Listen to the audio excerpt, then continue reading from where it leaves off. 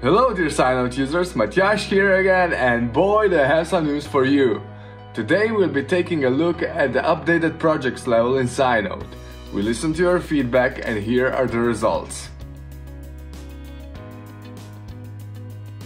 We're introducing folders to projects. They're here to stay and here to help you satisfy all of your organizing needs. Creating a folder is very simple. All you have to do is click on the Create Folder button, enter your name and voila, the folder is here. Now you can create new projects inside that folder or add additional folders to it to further support your organizational needs. To move your existing projects, simply select them by clicking on the checkbox on each project card.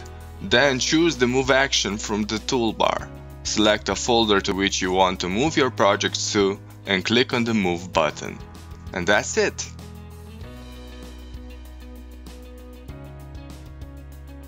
Let's take a look at the new project cards. Now you can quickly see who's assigned to a certain project based on their avatar. If you haven't done so already, I suggest you select a unique one so your colleagues will easily recognize you.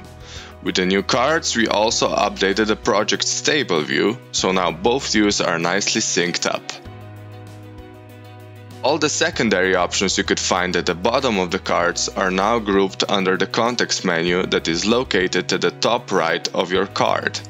You'll find project activity and comments here, as well as edit and archive actions if your user roles allow them. The comment section also got a brand new look and is now detached from the project cards. Don't worry, you will know which projects you're commenting on by seeing the project name at the top of the panel. In the middle is where you'll see all the comments generated by you and your team, and at the bottom is where you can input those comments as you see fit.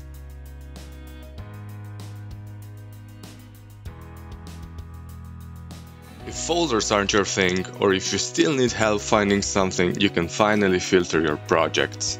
Filtering projects is easy. All you have to do is click on the filter icon at the top right of the screen.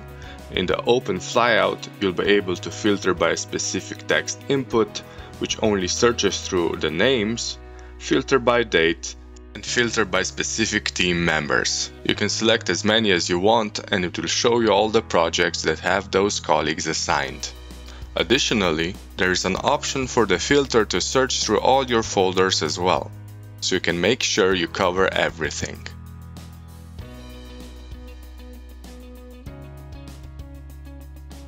We revamped the project archive in SciNote now you can always find the data you need, no matter how long ago you were working on it. Archiving projects hasn't changed that much.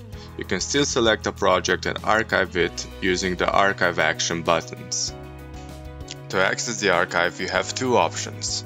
Either use the archive projects link at the bottom of your projects list or access the archive through the view menu at the top right. No matter your choice, the destination will be the same. What's different from before is that you can still view all the contents of the archive project.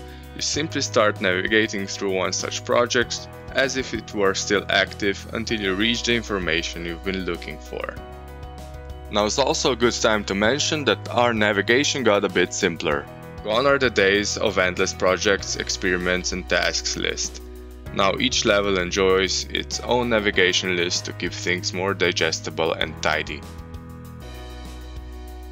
Thank you for watching, and especially thank you for helping us build SciNote into a better product. Take care of each other.